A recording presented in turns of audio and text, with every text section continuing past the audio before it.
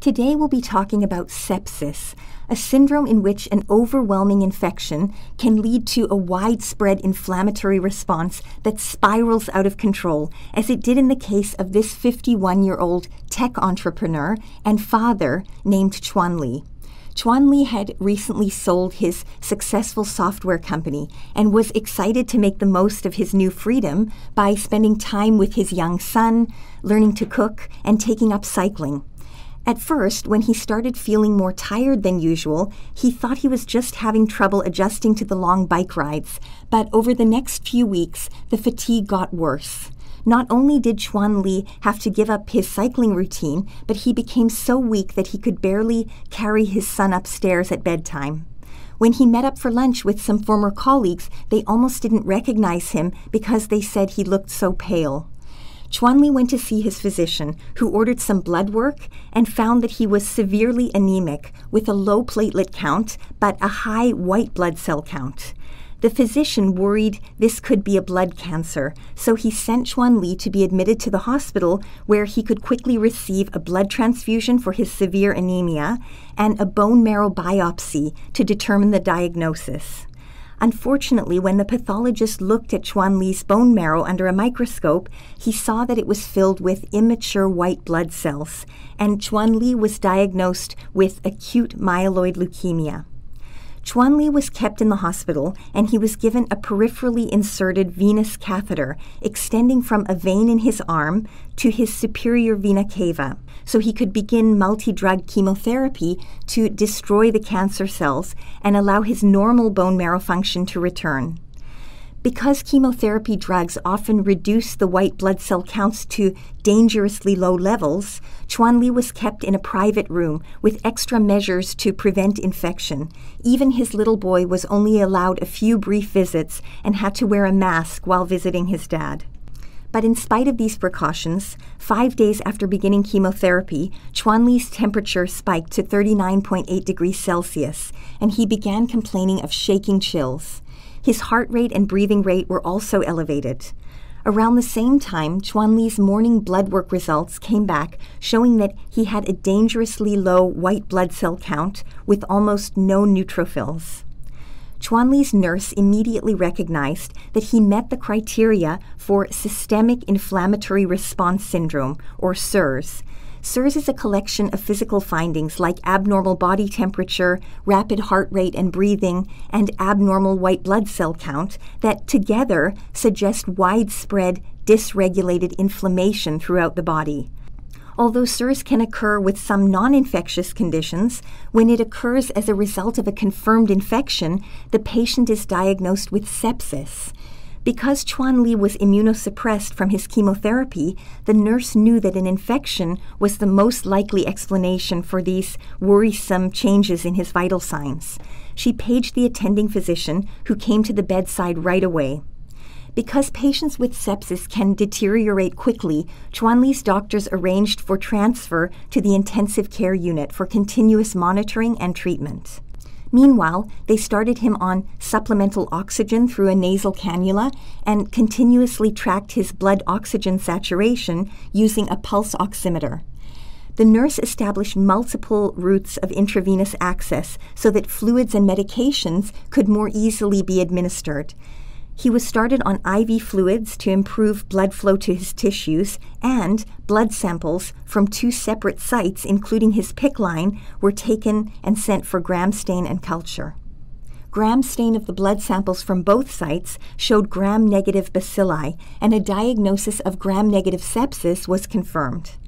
Chuan Li's doctors also knew that it was important to identify and treat the specific source of infection, so his PICC line was removed, since any indwelling catheter is considered a potential culprit.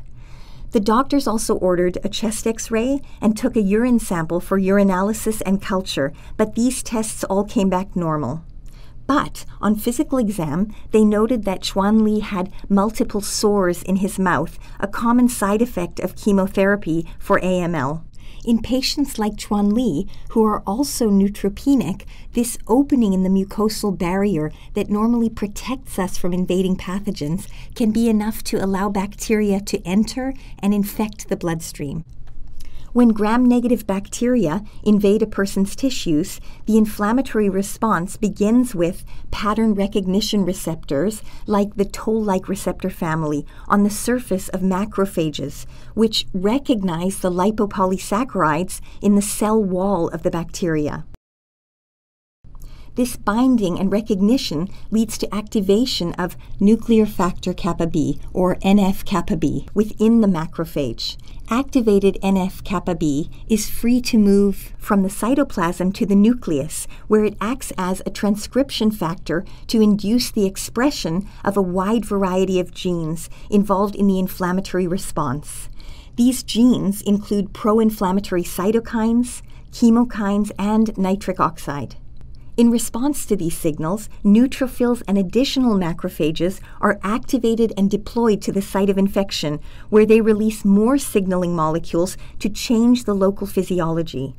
Together, these changes result in the cardinal signs of local inflammation warmth and redness due to local vasodilation, and edema due to increased permeability of the small vessels. Normally, this process is localized at the site of infection, but in some patients, especially those like Chuan Li who have bacteria within the bloodstream, macrophages become activated to release high levels of inflammatory cytokines throughout the body. This unregulated, self sustaining production of inflammatory cytokines explains Chuan Li's fever.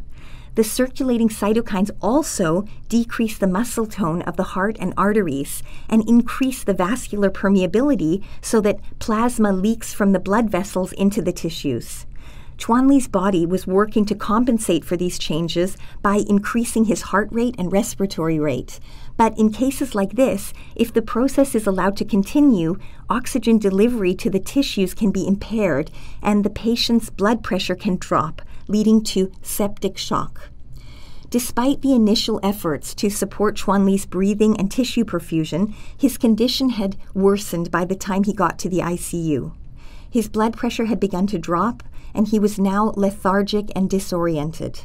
His oxygen saturation began to decline, so the decision was made to intubate him and provide mechanical ventilation. He was promptly started on IV antibiotics, and IV fluids were continued. Later that night, the nurse noticed that Chuan Li's oxygen saturation was dropping again. When the physicians examined his lungs, they heard crackles, and a chest x ray confirmed that some of the extra fluids he was receiving were leaking into his lungs and impairing his ability to oxygenate the blood. Now his doctors had a dilemma. They couldn't give him more fluids without flooding his lungs, but his blood pressure was still dangerously low. So he was given norepinephrine, a drug that constricts the blood vessels to help maintain blood pressure. Despite all these interventions, Chuan Li's vital signs remained unstable over the next few days, and his daily blood tests for liver and kidney function progressively worsened due to his inability to deliver oxygen to those organs.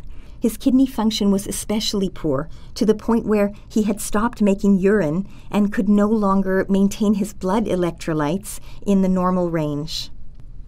Throughout Chuan Li's illness, the team of doctors had maintained an ongoing, open discussion with Chuan Li's wife and parents, and at this point they held another family meeting.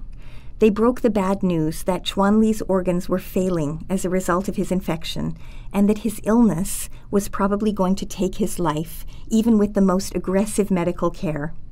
After a long, difficult discussion, the family decided to request that Chuan Li's breathing tube be removed, and he died a few hours later, surrounded by his family.